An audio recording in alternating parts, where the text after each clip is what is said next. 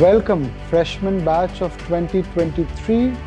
Our heartiest congratulations to each one of you who have made it to this institution and I am sure that you'll enjoy every day of the next four-year journey that you will have at this institution.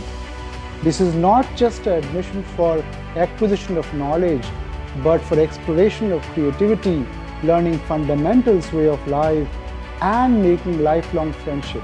I, on behalf of all faculty and staff, welcome you to explore this journey and make the best use of it.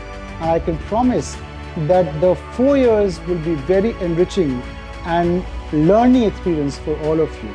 The result will be there for the world to see.